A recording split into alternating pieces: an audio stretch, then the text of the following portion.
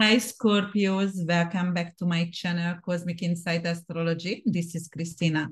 So, if you have a Scorpio rising or Scorpio moon or sun, this is your February 2023 astrology forecast.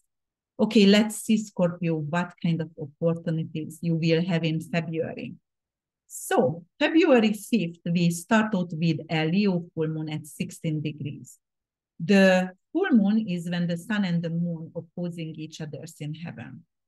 You know, full moon is a completion. It's represent an ending and actually like kind of signing of a contract, finishing something. Uh, it will square Uranus, and Uranus is the planet of unexpected. Uranus is chaos, rebel. It's also representing uh, digital currency, innovation, energy stocks, and it's going to be in your 10th house of partnership and trade and justice. And also its recognition and reputation, it's your career. So it can bring in an unexpected turbulence, and ending, some kind of difficulties in your partnership. Uh, perhaps you will need to appear on court. And it could also bring a divorce settlement and difficulties as well. So let's talk about actually um, what else it's going to be. Let's talk about uh, the Leo archetype because of Leo archetype we have to talk about because the full moon is in Leo. And um, Leo is someone who like to be center of attention, who is a leader, who is on stage, a CEO, who loves to be shining on stage. And this full moon is um, uh, actually going to take place in your 10th house. Uh, so that's why I said something is coming to completion in your career, right? And because of squaring Uranus ending as partnership over here. Yes, so otherwise, uh, the sun is opposing to it in Aquarius and it's going to be on your fourth house, so shining lights in your fourth house of living situation. Uh, and, you know, fourth house also family and corpse and weather and funeral homes ending as well. So over here, you might going to have to attend a funeral. You might going to have to actually, because it's shining light, I would actually say it's more positive. So it will be uh, more likely to either purchase a, a, home or, you know, move somewhere. So it could represent a moving. Um, changing for the better your living situation. Um, yes.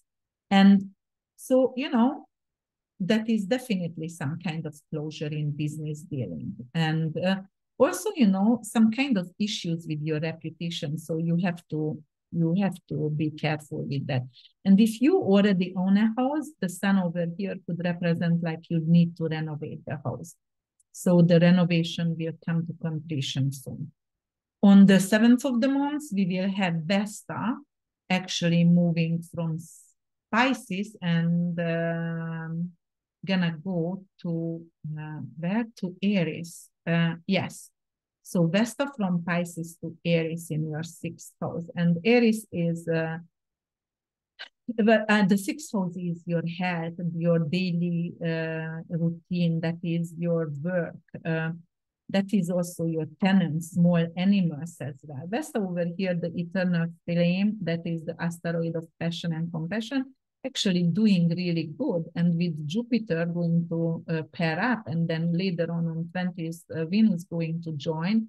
So all your attention going to be on your health. You're going to uh, actually pamper yourself. You're going to feel luxurious, and even you can change the office or your work environment and pimp it up a little bit and, and you, it's going to be luxurious for you.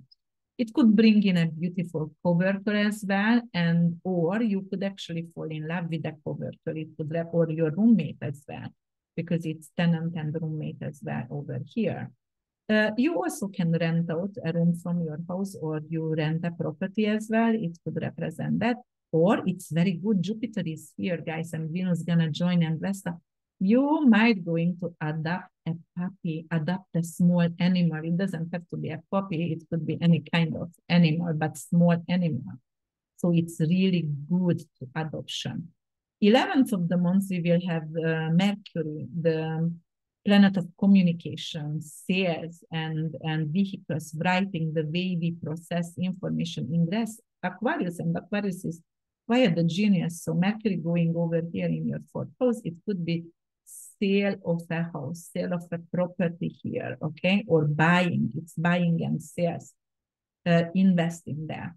And on the 18th, actually, on 18th of February, the sun gonna go to Pisces in your fifth house. So it's really joyful time for you, Scorpios. Uh, and you know, the, the Pisces is your fellow um, uh, water sign, so you're going to trine with it. It's a really great energy. It's a blessing energy for you to to have a lot of fun. It's fun, joy, creativity. So that's that's good. Uh, and then Pisces is photography, lyrics, poems. So you might go into actually write a poem or or enjoy some kind of project with photography or or or writing lyrics. So that's that's going to be definitely beneficial. Uh, or you know also have uh, what is that like like a gallery show so showing your artwork in a gallery um yes and on the 20th, we will have Venus uh, moving to your sixth house, right? I told you it's gonna pair up with Vesta and Jupiter over here. So your head going to be focused as attention and a new job possibly coming up with a promotion as well, or falling up with a roommate or, you know, co-worker. And then it could also uh, be, um, yeah, if you are in a healthcare industry or military, then it would be very beneficial because you can get a promotion over there. And on the same day, we're going to have a new moon. New moon is when the sun and the moon together in heaven and it's total darkness. You have to listen to your intuition. And it's a new beginning with your children, or perhaps with a creative project, with an investment. And it could pay off because uh, Venus was previously here exalted. So it's definitely an investment could bring in some kind of uh, financial abundance for you previously. But February definitely going to be good for that. And then we have to talk about a little bit Ceres, which actually stationed retrograde on the 3rd of February. And Ceres is, where is Ceres? Ceres, Ceres, it's in Libra in your 12th house. 12th is hidden.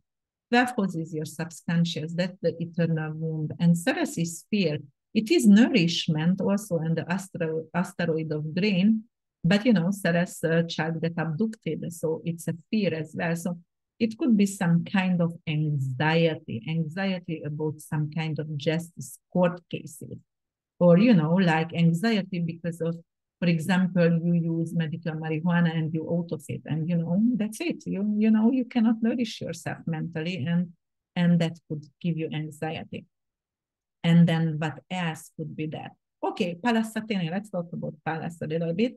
Uh, is victory and wisdom, and it's going to station direct in Cancer in your ninth house. Ninth house is anything with traveling, long distance travel, it's uh, airline stocks, it's export, import for you.